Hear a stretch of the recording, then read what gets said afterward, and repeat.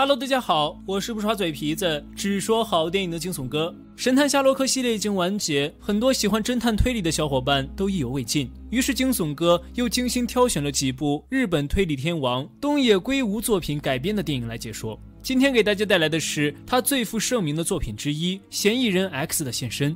这部经典的作品，中日韩三国都翻拍过。下面惊悚哥解说的是最为经典的日本原版。我们的男主角食神是一名郁郁不得志的高中数学老师，他相貌事业平庸，年近四十还一个人住在不隔音的廉价公寓中。他习惯每天早上起来独自走路上班，在路过一片流浪汉聚集地的时候，他都会有意的瞥一眼。这里面聚集的六个流浪汉，每日生活规律且无趣，和他一样都被这个世界所遗忘，没有人在乎过他们。如果有一天失踪了，也没有人去寻找。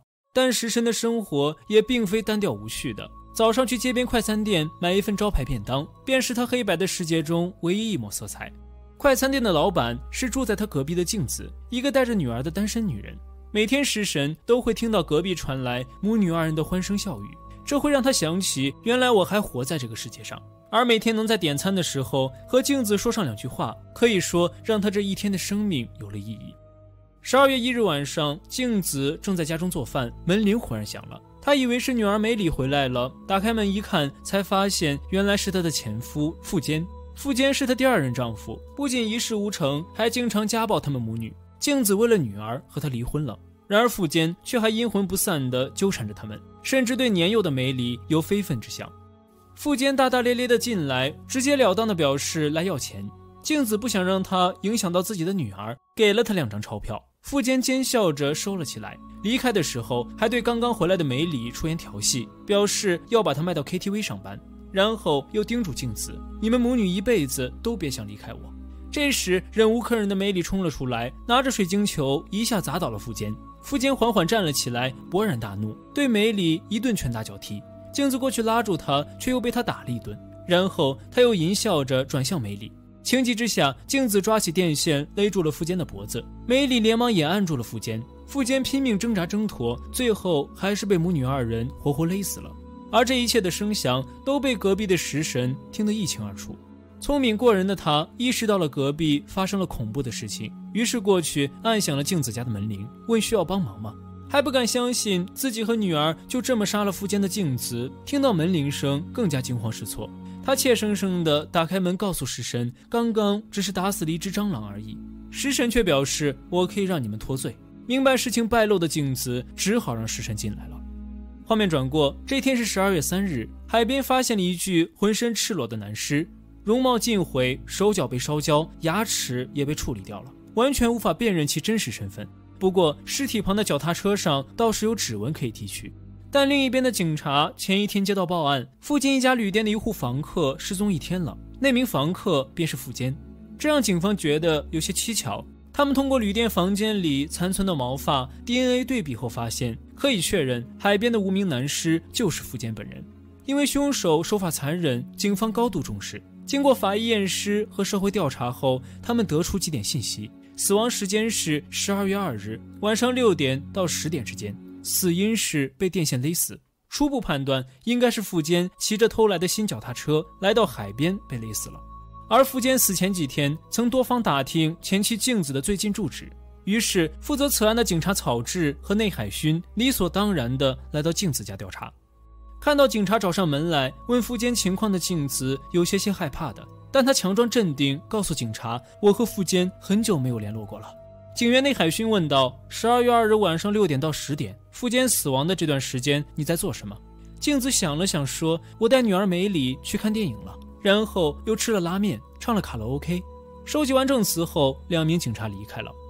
在下楼梯的时候，警员草治对内海勋说：“有些奇怪，十二月二日是周二，居然会有兴致去看电影、吃拉面、唱卡拉 OK。”这时，食神回来了，和两人擦肩而过。两人看了他一眼，连忙过去拿出附件照片，问他辨认。石神面无表情地说：“我不认识他。”草之又问：“那你是做什么职业的？”十二月二日，上周二晚上，有没有听到隔壁有什么响动？石神回答说：“我是一名高中数学老师，隔壁晚上一般都很安静，一切正常。”然后他打开邮筒，取出其中的信件，就要开门回家。内海勋和草治敏锐地留意到其中一封来自帝国理工大学。草治正是毕业于这所大学，有些意外。不过他见食神并不想多聊什么，于是表达谢意离开了。两名警察走后，食神悄悄下楼，来到公共电话亭，给镜子拨了电话，问镜子警察来了都说了什么。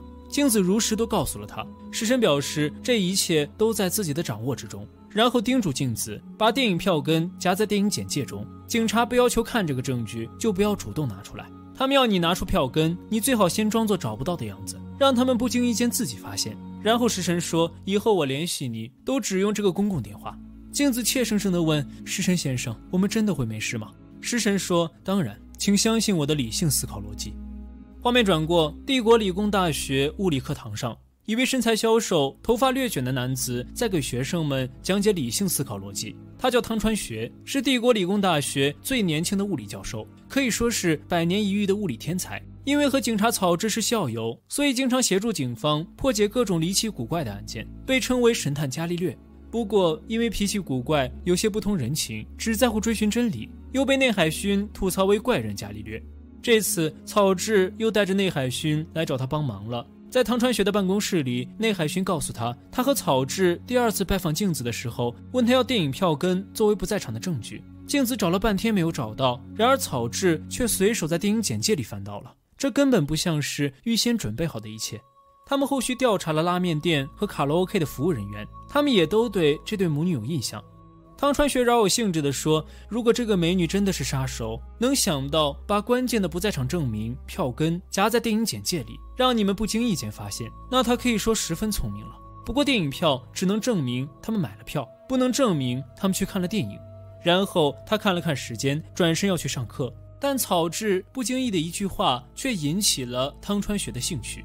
草之告诉他，镜子的邻居也是帝国理工大学理工科的，叫食神。汤川学立刻走了回来，确认了一遍是不是自己认识的那个食神，然后悠悠地告诉二人：“我很少用天才去描述谁，但在我眼中，食神才是真正的天才。他把所有的生命都献给了数学的研究。”内海巡和草之大吃一惊，没想到那个其貌不扬的数学老师居然能让汤川学有如此高的评价。接着，汤川学问清了食神现在的地址，他决定去拜访一下老友。画面转过，食神用公用电话打给了镜子，镜子表示已经都按照他说的去做。食神说：“对，就这样做。警察问什么，实话实说就好。”镜子迟疑了一下，缓缓开口，问出了一直以来心中的疑惑：“食神先生，你为什么这样帮我们呀？”食神垂眸想了片刻，淡淡的说：“因为我还想每天早上去你的店里买便当。”然后他挂了电话，伫立在黑暗中良久，才缓缓走回家中。此时的镜子还不知道食神为他做了何种牺牲。到了家楼下的食神，赫然发现了家门口一个帅气斯文的男人正在等待着他，是汤川学。两人隔空对视一眼，笑了起来。这一对昔日好友，当年分开后都在思念着对方。食神将汤川学请到了自己家中，拿出酒菜招待着。两人一边喝酒，一边谈论着数学题。在十七年前，二人也经常这样。那时候，汤川学是物理系百年不遇的天才，食神则是数学系最为出色的一个。但命运弄人，因为母亲重病，食神没有继续读研究生，而是回到家做了一名普通的数学老师。说到这里，食神苦笑了一下，悠悠说：“无所谓了，在哪儿都可以研究数学。”汤川学有些惋惜，问他还喜欢登山运动吗？食神说：“对呀，这么多年只剩登山和数学这两个爱好了。”接着，汤川学从包里拿出了一套数学题给食神，这是他特意为食神准备的礼物。食神接过来看一眼，如获至宝，连忙拿到书桌前研究起来。就这样过了一夜，食神终于研究完了，回头才想起来汤川学还在。此时，汤川学也在酒桌一边睡着了，食神便体贴地从柜子里拿出被子要给他盖上。忽然，他想到了什么，望向汤川学的眼神瞬间充满了杀气。汤川学如此聪明过人，并不是普通警察那么好对付的。自己的计划要调整了。画面转过，汤川学醒了，发现食神已经将所有的问题都解答完了。他看了看表，称赞道：“不愧是天才，只用了六个小时，看来宝刀未老。”两人收拾了一下，准备一起去上班。在路上，他们路过流浪汉聚集地。汤川学有些好奇地看了看那里的五名流浪汉，食神说他们的生活像是时钟一样精准，一成不变。汤川学随口应答说：“真有趣。”然后提起了富坚的案子。食神面无表情地敷衍了几句。接着，二人到了要分开的十字路口，食神深深地看了汤川学一眼，悠悠地说：“真是羡慕你啊，样貌还是那样年轻。”汤川学讪讪一笑，有些意外，没想到食神会说这样的话。然后两人简单告别一下，就此分别了。然而，刚走出没几步的汤川学忽然意识到了什么，连忙转身向食神望去。他看着食神有些落魄的背影，察觉到了一丝异常。食神从来不在乎自己的相貌的，难道他喜欢上了那个女人？是谁呢？他隔壁的镜子吗？此时的汤川学还不知道，他已经落入了食神的圈套中。另一边，由于警方对镜子调查毫无进展，决定转移方向去查找黑帮方面。因为嗜赌的富坚也欠了赌场一大笔钱，但海内勋依然觉得镜子有问题，可是没人相信他的直觉。这时，他收到了汤川学的短信，约他在案发现场见面。内海勋连忙赶了过去。在案发现场，汤川学告诉内海勋，案子经过他仔细思考推理，有几个疑点，其中之一就是偷来的脚踏车。警方在脚踏车上发现了指纹，但凶手将死者任何生物特征都销毁了，怎么会留下指纹这么重要的证据呢？那就说明他要给警方一个错误的方向。要让警方觉得死者是自己骑着偷来的脚踏车来到这个地方被勒死的，所以说这里并不是第一案发现场。然后汤川学带着内海勋来到脚踏车被偷的地点，向他讲出第二个疑点：这里有很多单车都没有上锁，随便就可以偷走。而凶手为什么要偷一辆新的单车呢？那就说明了凶手想让失主去报案，让警方将这两个案子联系到一起。但凶手为什么这么做？汤川学还没有想明白。不过，他已经将调查的目标锁定在了食神身上。画面一转，告别内海勋后，汤川学来找了食神。他笑着请求食神带他去镜子的便当店，表示想尝尝老友喜欢吃的饭菜。食神面无表情地带他来到了镜子的店里。汤川学要了一份食神经常点的招牌便当。这时候，一名身材高大的男子进来了，热情地向镜子打招呼。镜子见到他也很开心，可以看得出两人互有好感。这个人就是一直在追求镜子的工藤先生。正在等便当的汤川学不经意间一抬头，却赫然从镜子中看到了食神的脸。一向面无表情、像个冰人一样的食神，脸上居然露出了一丝极度愤恨的表情。他心中一凉，难道真相真的让自己猜中了吗？这时，他的便当好了，两人拿了便当离开了，一路闲聊到了该分别的路口。食神简单说了再见，就转身离开，似乎心事重重。汤川学则叫住了他，说：“我有一个新的研究课题，出一个难题和解一个难题，哪个更困难？”石神转过身来，此时一辆车驶过，挡住了汤川学的视线。他没有看到石神的第一秒反应。当车驶过后，石神依然是一副波澜不惊的样子。他告诉汤川学：“这很有趣，我会想想的。”然后他笑了笑，转身大步离开。只不过转过身来，眼神中的杀气更加凌厉了。他明白自己这个老友必定会毁了自己的计划，而汤川学也明白自己这个老友已经迈入了万劫不复的深渊。从这一刻开始，两个绝世天才的对决正式打响。石神又来到电话亭，给镜子打了电话。在简单的寒暄后，他语气强硬地问起了工藤先生的事情。镜子有些慌乱，解释说是一位好友。石神没多追问什么，而是让他女儿梅里接电话。石神告诉梅里，去和警察说自己想起来那天在电影院中遇到了几个同学，可以证明他们一直都在电影院里。梅里答应下来，虽然他也觉得石神神秘莫测，但却对他有一股天然的信赖感和崇拜。第二天，内海勋来找汤川学，表示自己经过一夜的思考，想明白了，如果不是镜子作案，那就是食神。食神经常去便当店买便当，应该是爱慕镜子。富坚死亡那晚，食神并没有不在场证明。并且你说过，凶手是一个特别聪明的人，食神就是你亲口认证的天才。汤川学想了想说：“不，凶手一定是镜子。食神知道这件事情的时候，富坚已经死了。因为如果食神想帮他解决问题的话，一定会选择其他方法，而不是杀人这种愚蠢的手段。所以他应该是指示镜子做出一些事情来混淆警方视线，解除他的嫌疑，比如不在场证明，比如脚踏车的疑点。”内海勋却表示：“为什么不能是食神呢？他也会犯错呀，他只是一个数学天才。”汤川学目光坚定地说：“对于食神而言，杀人比数学简单多了。”这时，内海勋的电话响起了。草之告诉他，梅里的同学证明他的确在电影院里看到了镜子和梅里。所以他们一直都在电影院里，没有出去过，不可能杀人。汤川学愣住了，表示不可能，一定是哪里出了错误，凶手肯定是镜子。画面转过，虽然汤川学坚定地认为凶手是镜子，但内海薰固执地认为食神很有嫌疑，于是说服草治和他一起去高中调查食神。二人先和食神寒暄一番，打趣说他给学生出的数学题都太难了。听到数学，食神的眼神亮了起来，说没什么，只是单纯的盲点问题。比如学生们觉得这是一道几何题，实际上却是函数问题，只有换个思路才能解开。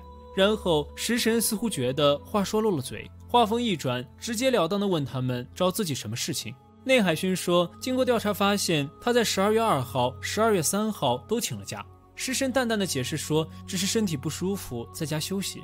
内海薰看着食神的眼睛问道：“你和邻居镜子只是单纯的邻居关系吗？”食神也看着他的眼睛，认真的回答说：“是的，只是邻居关系。”离开高中后，内海薰和草治找到汤川学，向他讲了调查食神的事情。但汤川学听到食神所说盲点问题后，表情渐渐凝固了，似乎意识到了什么关键的事情。他连忙又拿出高中的出勤表，看了一眼食神的请假记录，向二人打了个招呼，匆匆离开了。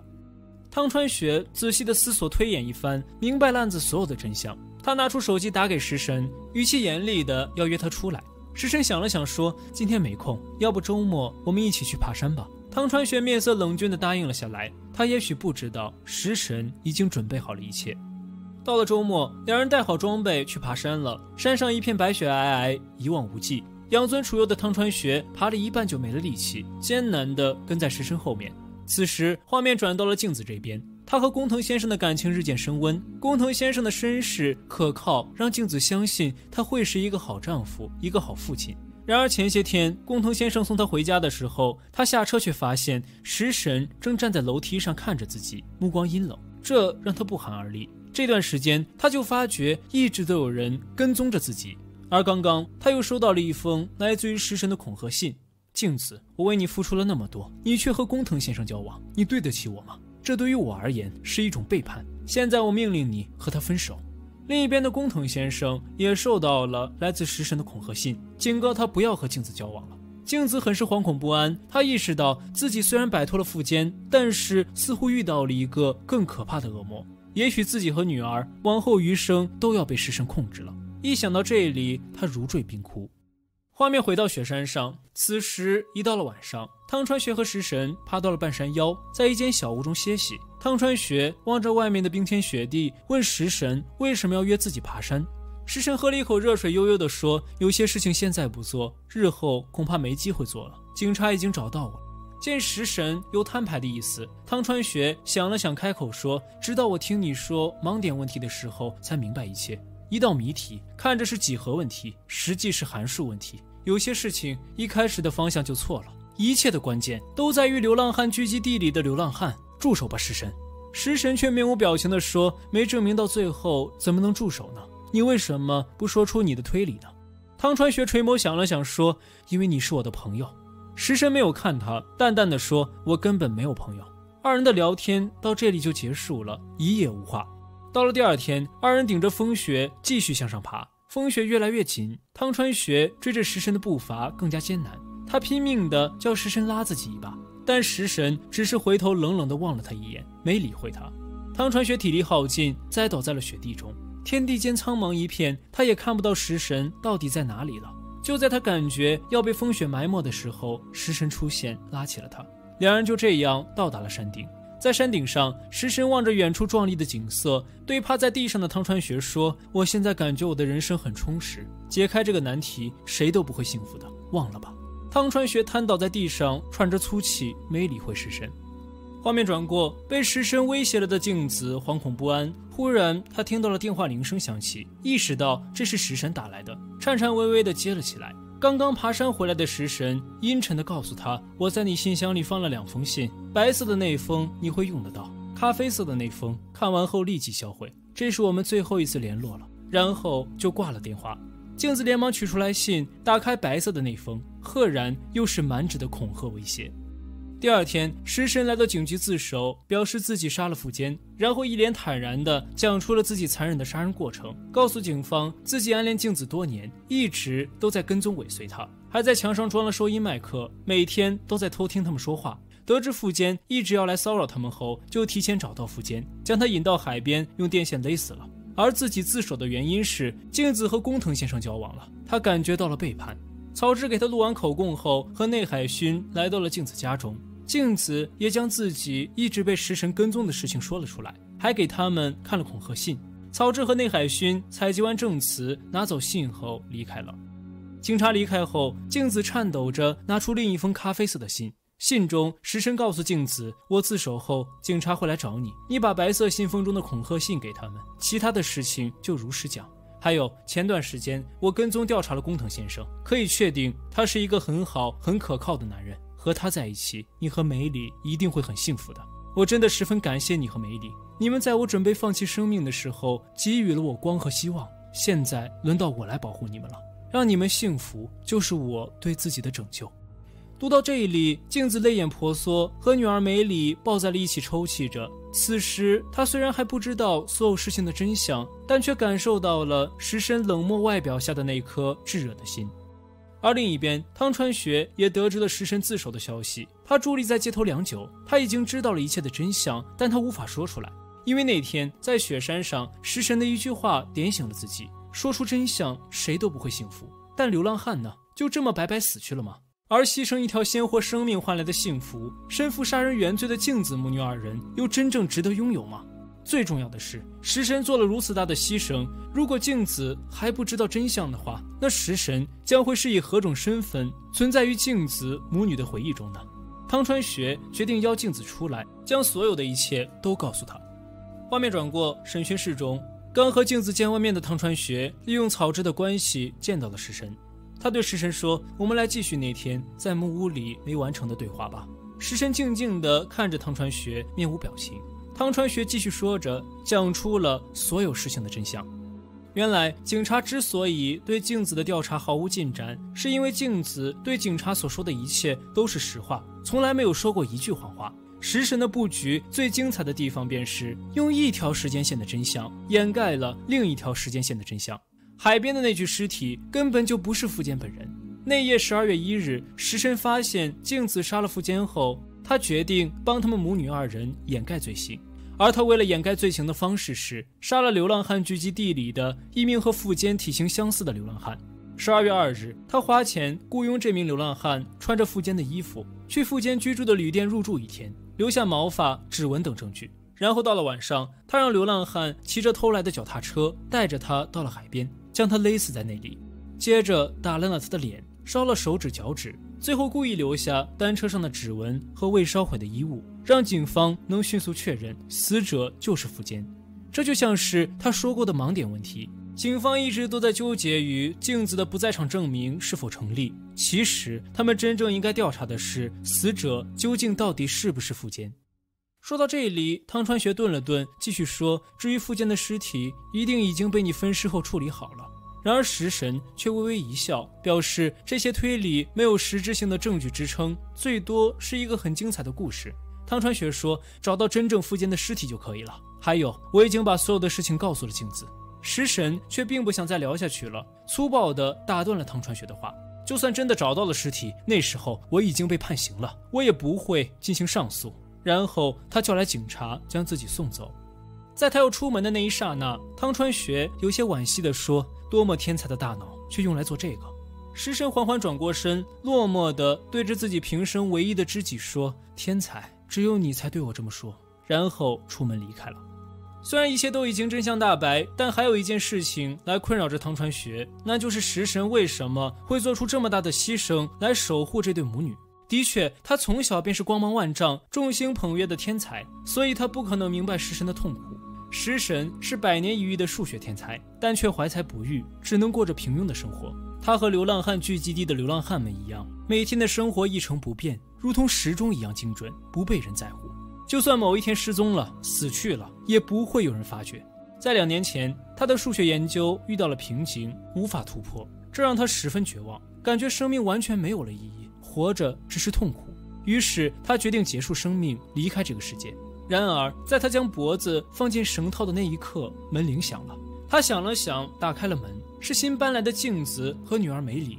他们热情地笑着向食神自我介绍，还给他拿了一份小礼物。在那一瞬间，看着笑颜如花的母女二人，食神只觉得昏暗的生命中有一束光照射进来了，他感受到了温暖。从此，每日母女二人的欢声笑语，就是他黑白的人生中唯一一抹色彩。每天去镜子的快餐店买一份便当，便是他最幸福的事情。那天，他得知母女二人失手杀了富坚后，毅然决然地做了决定，他要不惜一切代价去守护这一对母女。守护生命中最后的一束光，唯一的一抹色彩。对于他而言，他们能幸福快乐的生活着，就是对自己的拯救。于是，他用天才大脑做出这样一个迷局，一切都在他的掌控之中。但汤川学的出现，让他意识到这个精妙绝伦的迷局会被识破。从那一刻开始，他决定改变计划，来牺牲自己，在汤川学面前故意提起相貌问题，暗示他自己恋爱了。接着又在便当店里遇到工藤先生的时候，露出极度愤恨的神色，并且故意让汤川学发现，然后给镜子寄出恐吓信，假装自己是一个心理扭曲的变态，让这一切罪恶顺理成章地转移到自己身上。这一切都天衣无缝。如果找不到富坚的尸体，汤川学的推理就根本不成立，镜子母女也将有着幸福光明的未来。不过他忽略了最关键的一点。这一点将使他所做的一切都崩塌。他忽略了人性，一个人怎么能背负另一个人的牺牲和血债，幸福的活下去呢？在食神要被带走时，镜子冲了进来。汤川学已经告诉了他所有的事情，他也没有想到这个只是邻居的普通男人，居然为了自己和女儿做了如此大的牺牲。他跪在食神面前，痛哭着告诉警察：“我也有罪。”一瞬间，食神怔住了，他所做的一切都付诸流水。他不惜一切代价所守护的光熄灭了，他最大的幸福就是算无一策的守护着他呀。他跪在地上，奋力地嘶吼着，痛哭着，仿佛要将灵魂呕吐出来。全篇结束。所谓最纯粹的爱情和最完美的轨迹，不过如此了吧？这个结局可以说让人唏嘘不已，无比动容。食神的轨迹精彩绝伦，简直天衣无缝。可惜，绝对的理性思考逻辑最后败给了人性。对了，可能有的各位小伙伴们会有疑问：富坚真正的尸体到底藏在哪里了？在原著小说中，富坚的尸体是被食神分三次抛尸了，而在电影中没有详细说明。不过还是有迹可循的，在食神和汤川学爬雪山的时候，有一段时间汤川学栽倒在了雪里，食神没有管他，继续前行，消失在了他的视野里。惊悚哥认为，富坚的尸体应该就在这个时候被食神一块一块丢在了雪山上，从而杜绝了警察找到的可能。不知道各位小伙伴有没有不同的看法呢？在评论区留言讨论吧。好了，本期视频到这里就结束了，感谢各位小伙伴们一如既往的支持，咱们下期再见。